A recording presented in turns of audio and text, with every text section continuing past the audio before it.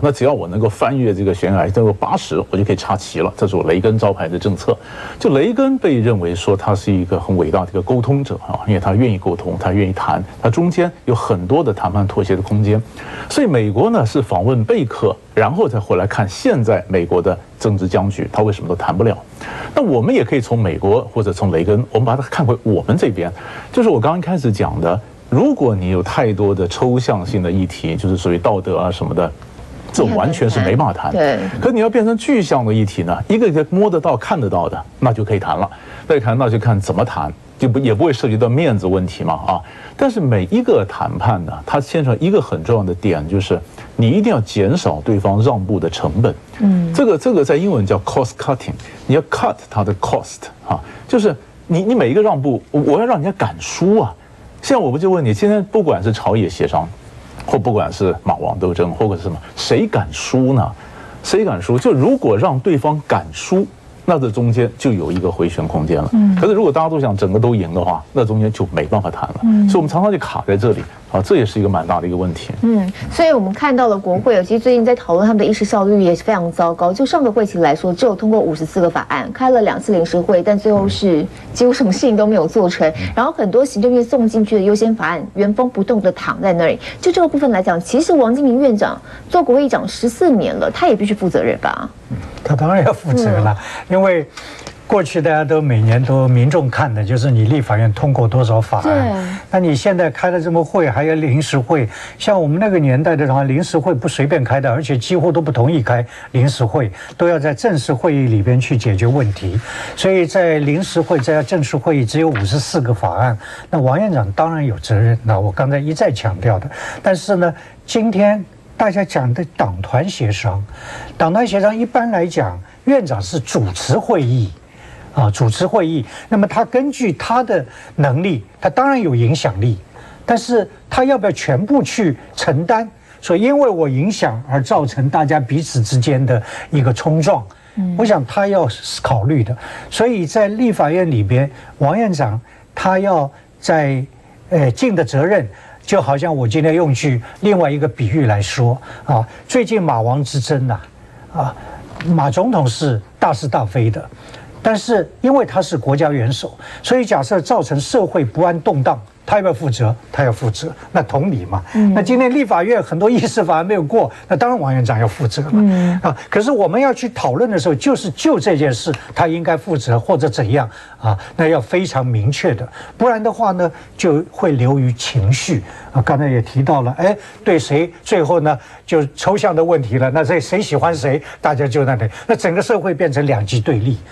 啊，所以有时候我们站在旁边看，我们不愿意再搅入这种两极对立，我们就希望从根去解决问题。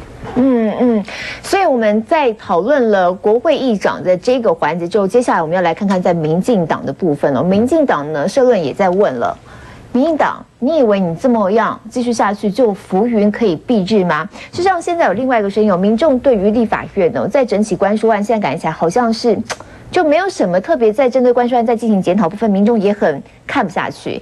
在网络上呢，有作家就在部落格当中要发起一个运动，说立法院群贤楼这个“贤”这个字根本不配用在立委身上。先来看一下下面的报道。报纸头版黄色区块大红字体写着：“大家都看到马总统应讯的照片，但不知那些官说犯法的官员们感受如何。”接着痛批：“难道他们真的是没有廉耻心、看脑的人吗？”民众措辞严厉，还花了三十万到五十万登报呼吁，可见延烧近八月的官说案真相为何？当事人至今没能说分明，民众很愤怒。问你到底有没有官说？你讲清楚，如果没有，你就讲清楚，说我们是打个电话，是讲什么？是涉及到的人，就是希望可以。跟大众解释清楚。蛋权监听闹得沸沸扬扬，但官说真相却石沉大海，可别以为小老百姓这么好糊弄。不过官说疑云始终没解，因为关键人可是很会替自己解围。关说这个事情，和本案有关的，你是不是完整的译文？对，他讲关关说的是完整完整完整哈，哎，完整好，好对对。你已经死了，到法院见了。新闻期的第一场司法质询，检察总长黄世明任凭民进党立委柯建明四兔上台跑红监听，连其他立委也加码，委员会变成公审大会。就有作家尹正雄在部落格发出怒吼，说立法院的群贤楼不配有着贤字，号召全民上书，以群贼楼、万年群猪楼，要把一百一十二位立委赶出立法院。他们要先出来讲道理真相是什么嘛？道理倒几先哦，所以所以这个案子上，所以所以所以我们这个国家常常最大问题的到最后没有真相。柯文哲苦笑反讽说：“真相不见是常有的事情，但王科官说案一拖再拖，最初的核心始终没答案，也难怪杂音不断。”好，针对关说案这整起事件的源头的部分，看到有民众觉得怎么也没有在这上面呢来好好的查一查，甚至呢受不了了还登报我表达自己的愤怒。实际上看到了民进党的态度，在关说案的部分，从苏文昌、从蔡英文到党籍立委，很少有人会真的出来讲些什么，反倒是。大家都把力气放在要护王这件事情上头了。想要先听委员带我们来看一下，其实民进党这样子的做法，在关税案几乎是视而不见，大家也很怀疑他们有没有一些反省能力啊。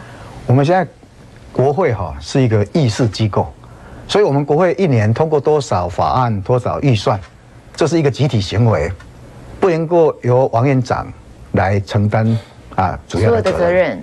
这是我们大家一起。啊，认为有一些问问题必须要深深入进一步的讨论，再来通过。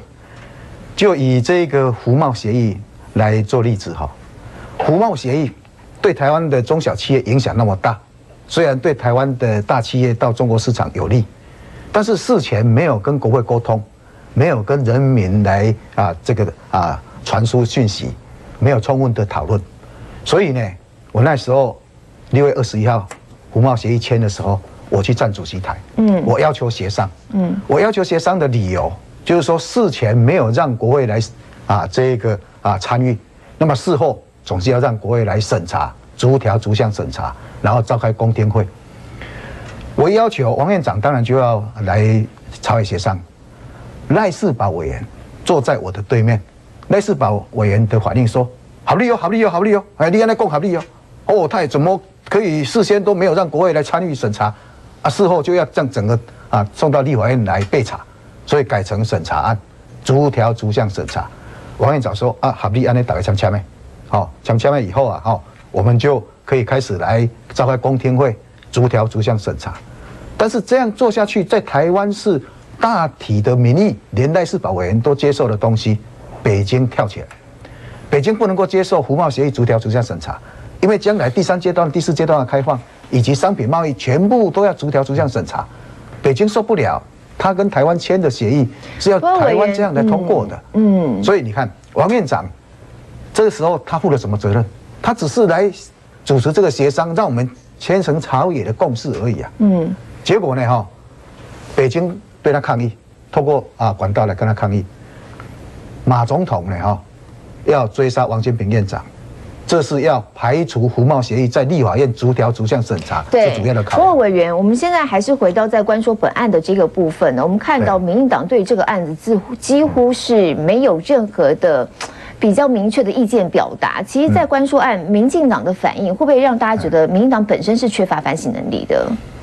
有有关于这个民进党柯总刀他有没有关说？民进党主席苏贞昌他已经说他。接受柯总召去自请纪律委员会的啊调查，所以就民进党而言，这是柯总召有没有关说是在立法院纪律委员会调查的问题。民进党即使去做了调查，党内的纪律委员会即使调查说啊柯柯建明你关说也没有没有影响啊，因为这是两件事情，有没有关说，这是立法委员的行为。我们不能要求民进党来负这个责任，更不能要求一个前主席蔡英文主席来负这个责任。嗯嗯嗯。那么，所以这个都在制制度里面来进行，也就是纪律委员会来调查，以及这个有没有违法的行为，由司法体系来调查。所以我们不能够啊要求说啊，因为他是民进党籍的，所以民进党要负责。如果这样的话哈，就会无限上纲。嗯。不过主席，我们不是说希望民进党来为柯建明负责，但是希望看到民进党有一些。意见上的表达，代表说他们在这件事情上他们的立场是什么，态度是什么。不过现在看到民进党却好像都变成了护王大队了。事实上，民党内部也有一些声音出来，像段义康，他先前就有投书，写的标题就是“民进党怎么可以变成王的王金平的亲卫队”。所以你来看，民党在整体事件当中，他的表现是不是也是进退失据？对，民进党这个刚才你说了段义康，另外林卓水，嗯，他也有反应嘛。所以一个政党不一定说。说，呃，全部都是如此。他也有少数人还敢讲话的人嘛？那问题今天立法委员有没有反省能力？他的反省能力大跟小？第一个是他在意的程度是大跟小。到底这些立法委员在意不在意？啊，在意不在意这个法案通过少？假设他在意，他根本不在意的话，他为什么要反省呢？那在在意程度的大跟小跟什么有关？跟当选几率的大与小有关。所以，我我们今天我讲，我因为在里边待过，做过立法委员，我也选过，所以我很清楚，今天一个立法委员，他对法案重不重视，他要不要很问政、很努力，他是跟他的选举有关呐。那今天假设他认为说，根本。我当选还是照会当选，那我会在意法案只通过五十四个吗？嗯，所以我举个，我只要说明哈，我们看下一次假如柯建明选，他照样当选。所以我很不愿意讲这句话的，他还是跟制度有关嘛。你今天搞成这个制度，那他他永远在地方上，呃，每天就保稳住这个地盘，他可以永远当选，因为大家都是意识形态为主啊，我是蓝的，我是绿的。那对于国家根本不在意的话，那谁去谁去努力做这个民意代表呢？所以我要我我不愿意讲句话了。大家以前很多呃笨蛋问题在哪里？我说笨蛋问题在选票嘛。嗯，今天大家是不是说是我讲穿了就是这么回事儿？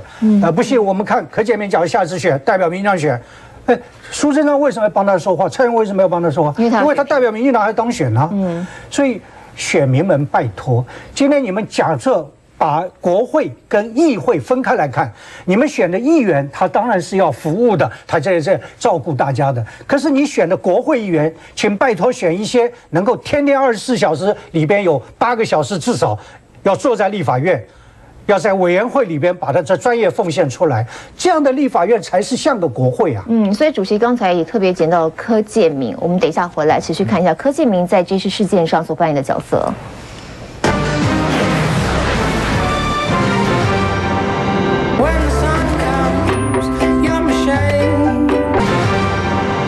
回到这一次战争的原点哦，刚刚开始就是因为柯建明疑似呢为了自己的司法案件打通电话给王金平院长。不过回到这个原点，柯建明本身是涉案的当事人，但现在在立法院，他拿着自己职权的这个权利，就当面的来呛黄世明。